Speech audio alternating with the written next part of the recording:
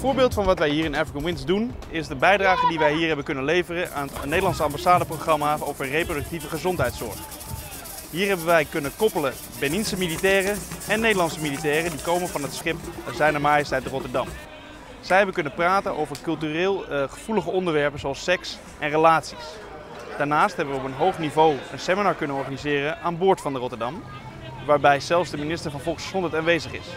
Met dit seminar kunnen wij dit gevoelige onderwerp weer eens voor het voetlicht laten treden in Benin.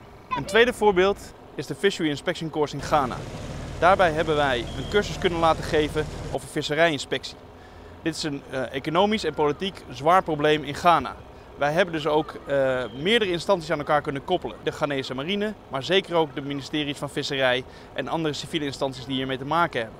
We zijn hier bezig met een uh, visserijtraining.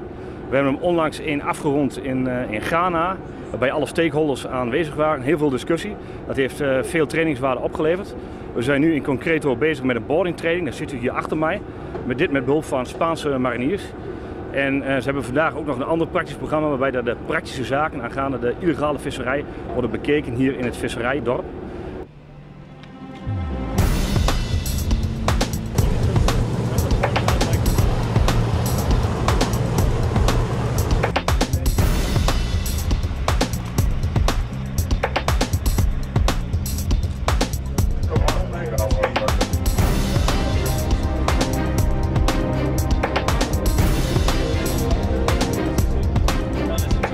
En aansluitend hebben wij nog een certificaatuitreiking waarbij elke cursus een certificaat krijgt.